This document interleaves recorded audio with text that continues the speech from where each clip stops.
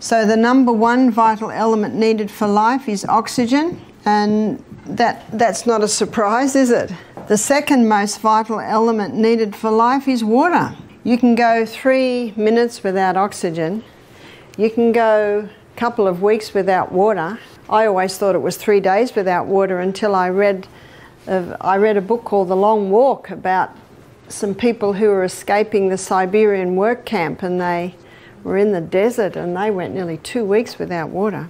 Water is the second most vital element needed for life. In fact, where there's no water, you don't usually get people living, do you? I always say to people, how much water do you drink? And these are some of the answers are, I don't like water. Um, if I drink water, my feet swell. If I drink water, I'm going to the bathroom all day. Those last two answers tell me that the water's not getting inside the cell. So, how do we get the water inside the cell? We have to go to the third most vital element needed for life, and that is sodium. The fourth most vital element needed for life is potassium. In nature, we find the highest amount of sodium in seawater, and seawater contains 92 minerals. Of those 92 minerals, 30% approximately 30% is sodium, and of those 92 minerals, approximately 50% is chloride. Now, because sodium chloride take up the most amount, they're the first crystals formed when the water is evaporated. So, what man does is he scoops up the first crystals formed, he bleaches them white, puts aluminium with it so that it runs freely, and there's your table salt. Table salt is a dangerous salt because we now have two very harsh minerals that if you were to inject both of those into the blood, you would die. There's two harsh minerals and they need all the other 90 to soften them and balance them. The highest concentration of mineral inside the cell is potassium. The highest concentration outside the cell is sodium. And in this bilayered membrane that is around every cell, there are sodium potassium pumps, and these sodium potassium pumps are ever going like this, maintaining the balance between potassium and sodium. But when someone's not eating enough fruits and vegetables, and that's where you get most of your potassium, and they're putting table salt on everything far too much, what happens now is sodium levels rise and potassium levels drop. There is a small amount of sodium in the cell, but when this happens, you see osmosis and diffusion happens when the highest concentration merges into the lowest. So now sodium levels inside the cell are rising, which they should not, and the cell swells. What's that called? High blood pressure. The doctor is right. Table salt will, will contribute to high blood pressure. There's a French doctor named Dr. de Langre, and he's written a whole book on salt. He said, When people come to me with high blood pressure, I put them on Celtic salt. Why does he put them on Celtic salt? Because Celtic salt contains 82 minerals. It's a hand harvested sea salt. What about Himalayan salt? In many places, Himal- Himalayan salt is a lot easy to get. There's 70, about 75 minerals. So it's pretty good, but I prefer the Celtic salt. And one reason is that the Celtic salt has three magnesiums. It contains magnesium chloride and magnesium bromide and magnesium sulfate. Magnesium is a water hungry molecule, and this explains why the Celtic salt is such a moist salt, especially when we've had a lot of rain, because those three magnesiums absorb the moisture. And because Magnesium is a water hungry molecule. It can be used to help the water get into the cell. So when you take a crystal of Celtic salt, put it on your tongue, and some say, How big's a crystal? Well, if you've got high blood pressure, start small, about the size of a sesame seed. I don't have high blood pressure, so I might have about three times little sesame seeds.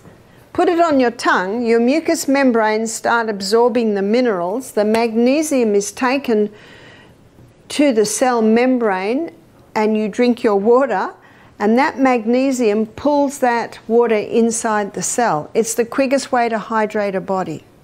The only time excess water drinking can be dangerous is if people drink too much at once and don't have the minerals that are in the Celtic salt to pull that water inside the cell. I've had people complain to me, they say, I'm drinking more water now, and now I'm going to the bathroom all day. So I say, Are you, are you having the salt? Have a little crystal be- before every glass of water. And ideally, we should be having approximately eight glasses of water a day. And then I say to them, and don't drink a whole glass at once. I think I mentioned earlier, I drink half a glass as soon as I get up. I go to the bathroom, I drink another half glass. Then I get dressed and have another half glass. But when I start every glass, I have that little bit of salt. So you spread the water over the day. And many people have said to me, Thank you so much, that, that has made a big difference. See, huge water in, it's not long before huge water has to come out. It's like watering a plant. And look how God sends the rain, little by little by little. And when there's a tornado, when there's a torrential downpour, that's when the soil gets washed away and, and flooding can happen. So remember that with your body. Take it little by little by little by little. It is the best way to take it. Did you know that sodium chloride is so strong it can kill the taste buds? Have you seen people that eat table salt? They put it on everything and they put it on before they've even tasted it. Well, no wonder their taste buds are dying. Whereas Celtic salt, with all of its minerals, it, it enhances the flavour of the food. Now, the red lentils we had this morning, a few people have said, What's in this? I've even served it at my house at breakfast, and people have said, Is there chicken in this? And I know why they say that. It's because it's so flavoursome. Well, it has a little olive oil, some, some herbs, nice if you can get fresh or Italian herbs, and some Celtic salt and a bit of turmeric. That's it. I rinse it very well. It must be rinsed well first. And I do that just before it's fully cooked. And yet, as you can see, it's delicious. See, I'm not interested in cooking up onions and garlic, and much as I love that in my lentils, I'll do that at lunchtime. But in the morning, I've got hills to run up and down, creeks to jump in. I'm not interested in, in being in the kitchen for a long time, and that's a very quick dish to, to make. So, sodium not only is required to get the glucose into the blood, it's also required to get the water into the cell. So it's sodium. It's the third most vital element needed for life. And you can get that information on the four vitals in any anatomy and physiology book, chemistry book, biology book. I'm just giving you the facts here. So, as you can see, water is very important, but so is the salt. And again, the potassium is found in all your fresh fruits and vegetables. Calcium cannot get into the cell by itself, it needs vitamin D. When vitamin D is present, the calcium is pulled inside the cell. You just imagine for a moment, and this is happening in America a lot today, people are not drinking enough water. They're not having the whole salt, and they're definitely not having many greens, which is where your magnesiums is. So the little bit of water they're having is not getting inside the cell. They don't go out in the sunshine because they're scared of getting skin cancer.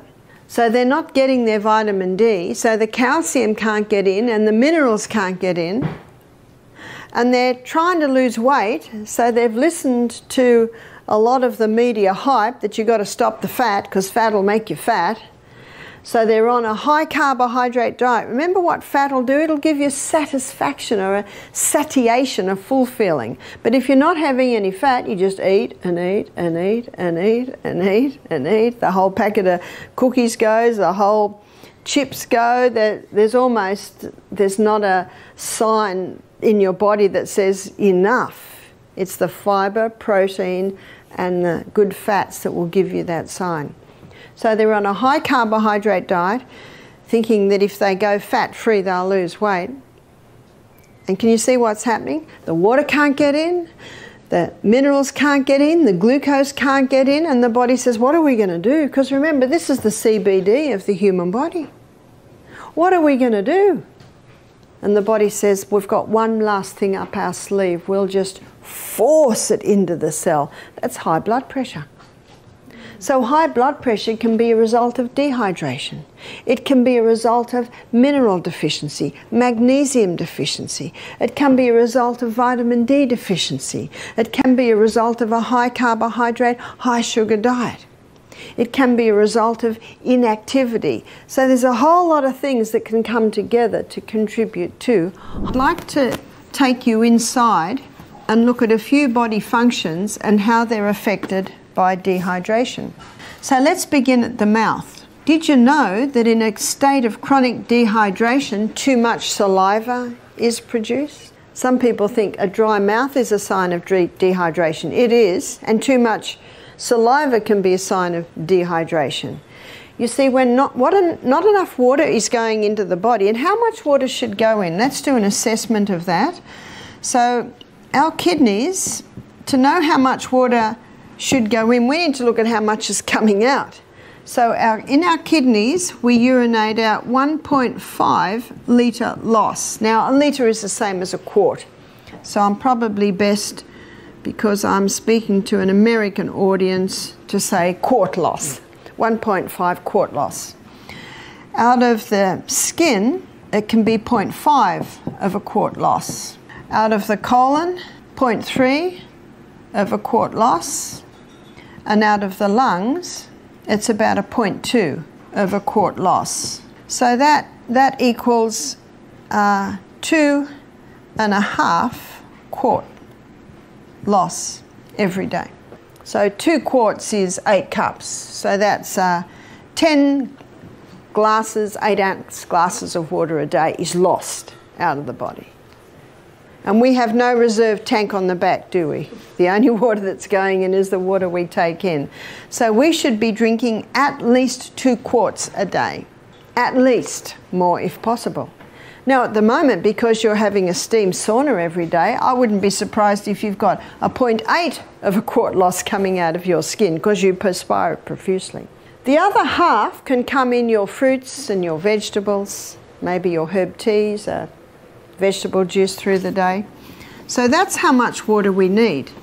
And Dr. Batmanghelidj, he showed that the first place that we feel that water loss, if we're not replacing the water, the body goes into a form of drought management. And it releases a hormone to manage this drought management. It's called histamine. And if someone has an allergic response to something, what are they given? Antihistamines. You know the best antihistamine is just water. So the first place that water is taken from to try and maintain full blood volume in the, in the veins and arteries is the lining of the stomach. We have a thick mucosal wall lining the stomach, and so now we've got a very thin mucosal wall. Now, in that mucosal wall, there's sodium bicarbonate, and the sodium bicarbonate is in the mucosal wall to neutralize any stomach acid that might try and get through and basically protect against, uh, against uh, stomach ulcers. So, what is a stomach ulcer? It's basically a breakdown of when we smell food and we start to chew food, hydrochloric acid, here's hydrochloric acid, hydrochloric acid is released. And hydrochloric acid connects with pepsinogen to release pepsin, which breaks down protein, but hydrochloric acid does something else. It's antifungal, antibacterial, and so it has the ability to wipe out these guys. And just as hydrochloric acid is considering going down and wiping these guys out, he has a big glass of water. And what does water do to hydrochloric acid? It just dilutes it. So Helicobacter pylori is chomping away at the dead tissue and it goes, whew, that was close, chomp, chomp. When someone comes to me with Helicobacter pylori, one of the first things I do is increase their hydrochloric acid. Because if you increase the hydrochloric acid, remember what one of its roles is? Antibacterial, anti yeast, antifungal. Now, I'm not criticising the doctors that discovered that Helicobacter pylori causes stomach ulcer. It is there, it does play a role. But why is it there? Can you see that? And unfortunately, on the board that awards Nobel Prizes, there are representatives from the pharmaceutical companies.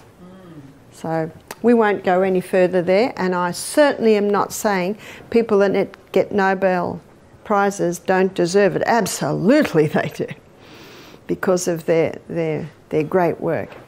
But I'm just presenting you the facts. I'm just giving you the basic anatomy and physiology. Dr. Batmanghelidj, he, we'll call him Dr. B, he found the first place that we lose water is the lining of the gastrointestinal tract. He also found that if you go down the gastrointestinal tract, you come to the pancreas.